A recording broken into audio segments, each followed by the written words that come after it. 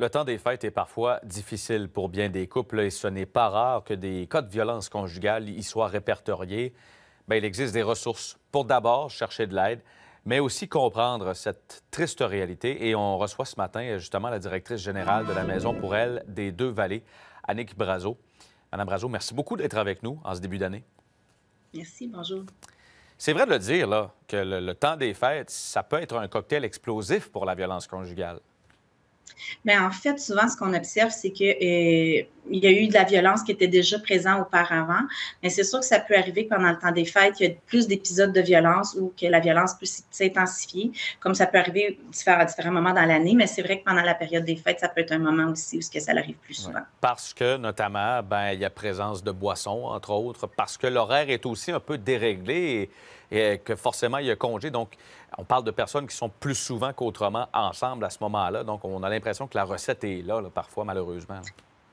Oui, mais il faut faire attention, par exemple, de, pour pas que ça vienne une excuse non plus, parce que on, pourrait dire aussi qu'il y a du stress financier et tout ça, mais vous savez, tous les couples vivent cette situation-là. Il y a des couples où il y a de la violence, il y a des couples où il n'y en a pas.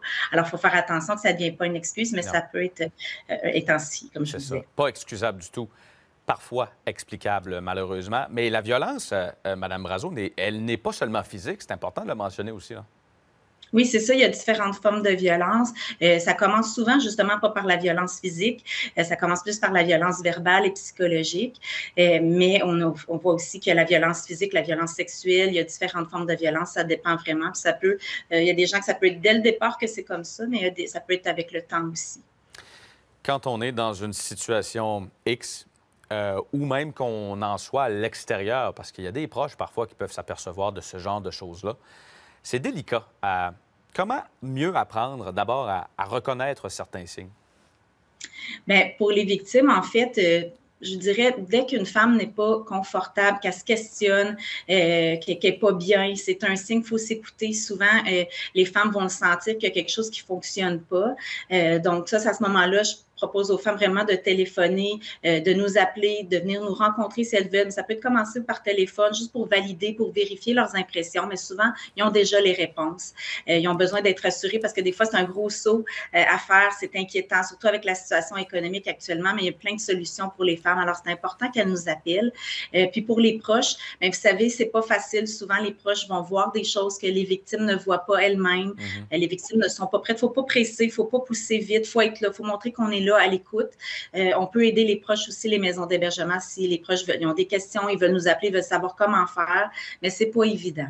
L'idéal, c'est vraiment d'accompagner la femme, qu'elle soit prête, pas la bousculer. Euh, des fois, elle ne voit pas. Donc, l'aider à se questionner, à, voir, à, offrir d'accompagner vers les ressources, euh, c'est vraiment une bonne façon de pouvoir aider les femmes victimes de violences conjugales. Pouvez-vous nous parler du portrait chez vous euh, en 2023? Est-ce que les demandes d'aide euh, ont augmenté? Est-ce que c'est le statu quo? Euh, quel est le portrait chez vous? Mais je vous dirais que même à travers les maisons d'hébergement au Québec, on a plus de demandes, soit à l'hébergement, mais dans nos services externes aussi, parce qu'on offre d'aider les femmes de les rencontrer sans qu'il y ait de l'hébergement. Ce n'est pas toutes les femmes qui en ont besoin. Donc, on a vu, c'est sûr, une augmentation de nos demandes de services c'est sûr qu'on en a beaucoup parlé et vous, les médias, vous nous avez beaucoup aidé en parlant des, ressources pour les femmes. Alors, c'est sûr que les femmes font appel à nous. Donc, c'est important, c'est ce qui est bien. Euh, donc, euh, on est en mesure d'aider les femmes victimes. Euh, je sais qu'il y a des femmes qui sont vraiment inquiètes par rapport à la situation du logement, mais il y a des logements disponibles pour les femmes. Les femmes réussissent à se trouver des logements quand elles en ont besoin. Il y a des femmes qui viennent nous rencontrer seulement pour y réfléchir, pour voir leurs options.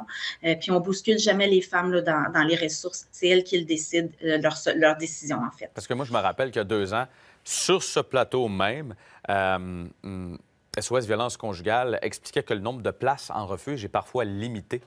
Euh, est-ce que c'est la même situation? Bien, on l'a beaucoup nommé. Puis justement, le gouvernement a investi, euh, a permis euh, à différentes ressources, dont la nôtre, euh, d'offrir plus de place pour les femmes et les enfants victimes de violences conjugales. Il y a des maisons actuellement qui sont en construction aussi pour avoir plus de place, donc d'offrir de l'aide aux femmes. Puis c'est sûr qu'en attendant, nous, on offre les services externes, puis on a développé d'autres solutions temporaires en attendant qu'il y ait plus de place dans les maisons d'hébergement. Le but, c'est vraiment que les femmes soient en sécurité quand elles veulent quitter la violence conjugale donc, on a plein de ressources, on a plein de solutions. Il faut que les femmes nous appellent pour qu'on puisse leur en parler. Oui. Bien, si vous me permettez, justement, Brazo, donc, Mme Brazo, si cette entrevue euh, aux gens qui nous écoutent vous a parlé, si vous vous sentez concerné ou encore vous avez besoin d'informations, sosviolenceconjugale.ca, sinon le 1-800-363-9010. Annick Brazo, vous êtes directrice générale de la Maison pour elle des Deux-Vallées. Merci beaucoup d'avoir pris la parole ce matin à ce sujet. C'est très important. Merci de l'avoir fait et bonne année. Merci aussi. Au revoir.